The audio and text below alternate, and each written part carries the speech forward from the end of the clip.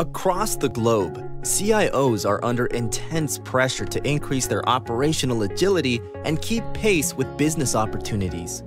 To deliver on the expectation of building resilient customer experiences, CIOs are moving away from time consuming manual processes and towards modern technology that's dynamic and enables movement at machine speed. Now, automation is the name of the game, and it's enabled by AI and ML and underscored through a framework called AI Ops. AI Ops is widely defined as the outcome of combining big data with AI or ML to automate operations. But this formula isn't producing the kind of results that CIOs need.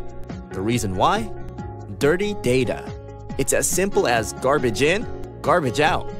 To achieve the business benefits of AI ops, CIOs need clean data that's real time, accurate, contextually rich, and provides relationship insights between applications and their underlying infrastructure.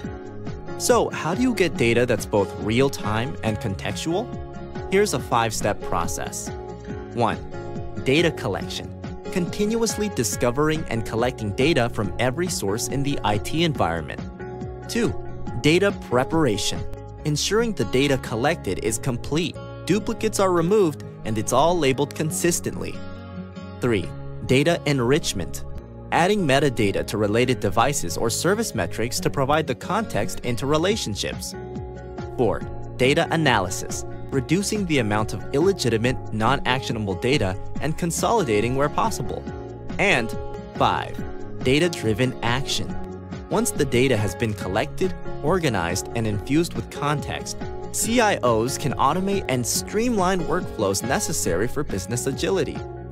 With clean and contextualized data driving AI ops, CIOs can regain the upper hand and deliver business agility and resilient digital experiences.